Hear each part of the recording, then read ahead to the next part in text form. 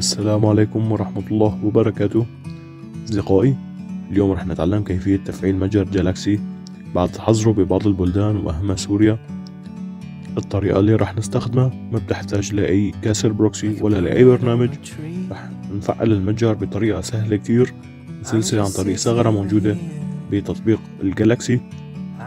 وما رح نحتاج نفك ال SIM ولا نشيلهم مثل كل الفيديوهات اللي ظاهرة على اليوتيوب وطرق الشرح لتفعيل المتجر. ما رح نحتاج أي شيء. خليكم معنا. فاصل ونرجع.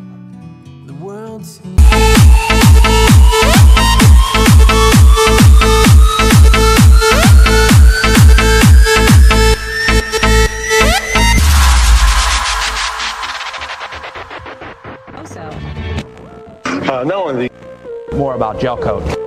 When the fourth round would don't you call ورجعنا لكم من جديد. أصدقائي الخطوة الأولى. من قائمة التطبيقات رح نختار الضبط. لا تنسوا الاشتراك بالقناة وتفعيل زر الجرس ليصلكم كل جديد. من قائمة الضبط رح نختار الحسابات والنسخ الاحتياطي.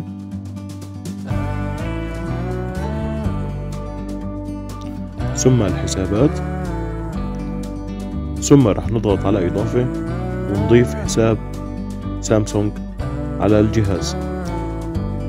طبعا حساب السامسونج مجرد ما تضغط على زر الإضافة فيك تضيف حساب جديد وفيك تفعل حساب قديم موجود عندك سابقا. وبعد ما بننتهي من إضافة الحساب نضغط على زر الهوم لحتى نرجع للشاشة الرئيسية. هلأ أصدقائي راح نضغط على متجر جالاكسي. راح نشوف إنه عم يعطينا اشعار إنه هاي الخدمة غير متوفرة. بالإضافة إلى رمز الكود تبع الخطأ طبعا هذا الحكي إنه المتجر محظور ببلدك. هلأ أصدقائي رح نعمل حيلة صغيرة رح نخلي المتجر يشتغل بدون ما نحط أي برنامج وبدون ما نشيل الصيام من الجهاز.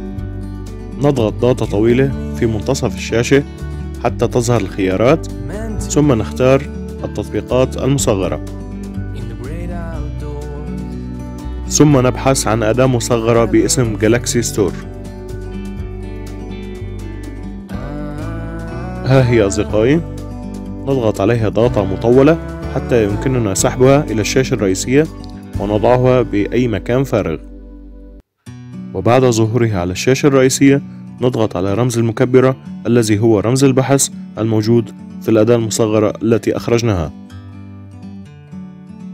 ثم نقوم بكتابة اسم أي تطبيق نريد البحث عنه وتثبيته من جالاكسي ستور مثلا سأختار برامج سامسونج فسأقوم بكتابة كلمة سامسونج في البحث.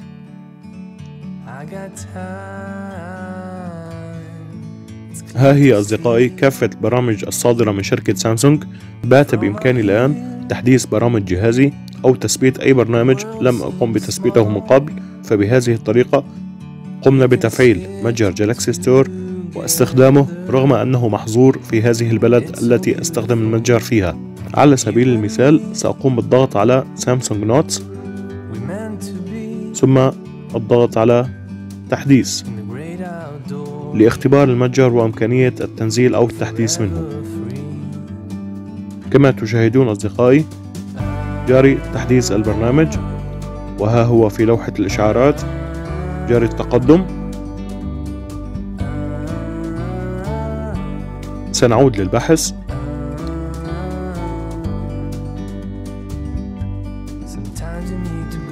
سنحاول كتابة اسم تطبيق آخر.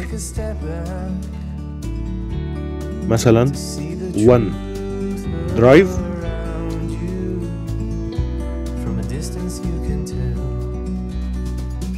نضغط عليه. هذا هو أصدقائي. التطبيق.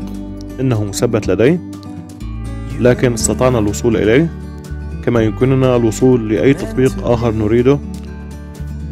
طبعا الغاية من تفعيل متجر Galaxy Store هو تحديث تطبيقات سامسونج أو تطبيقات الأندرويد الأساسية الموجودة بجهاز سامسونج التي لا تتوفر تحديثاتها إلا ب Galaxy Store نتمنى أن يكون الشرح واضح. وقد استفدتم دمتم سالمين. والسلام عليكم ورحمة الله وبركاته.